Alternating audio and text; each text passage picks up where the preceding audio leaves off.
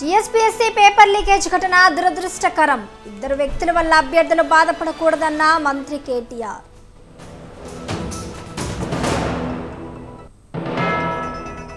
తెలంగాణ వ్యాప్తంగా బీజేపీ ఆందోళనలు. TSPSC paper leak పై విచారణకు డిమాండ్.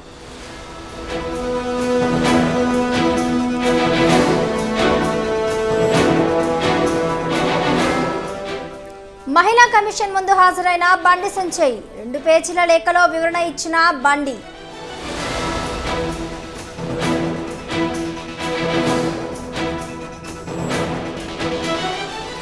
పేపర్ లీక్ కేసులో నిందితులను కస్టడీకి తీసుకున్న సీట్. నిందితులకు వైద్య పరీక్షలు.